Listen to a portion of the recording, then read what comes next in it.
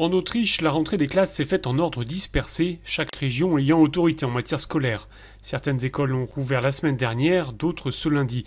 Mais une chose est identique partout, ce sont les mesures sanitaires. Gel hydroalcoolique, règles de distanciation physique. Quant au masque, il est obligatoire dans les cours de récréation, dans les couloirs.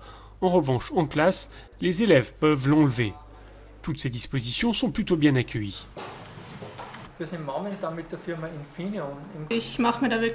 Je ne suis pas vraiment inquiète, dit cette jeune fille. On doit rester éloigné, on doit porter le masque. Je fais confiance aux autres pour qu'ils respectent aussi ces mesures. On sait qu'on peut croiser une personne contaminée dans le bus ou dans un café, ajoute cet élève. Donc, on sait qu'il faut faire attention. En fait, on était déjà habitué aux distributeurs de gel désinfectant à l'école. Et puis les masques, on ne doit les porter que dans les couloirs, donc ça va.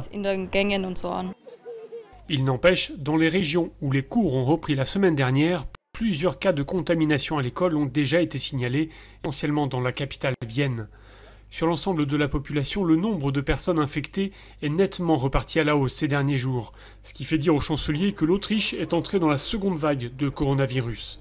Les mesures sanitaires ont été récemment durcies, extension du port du masque, limitation des rassemblements publics. À ce jour, le pays a enregistré 757 décès depuis le début de l'épidémie cet hiver.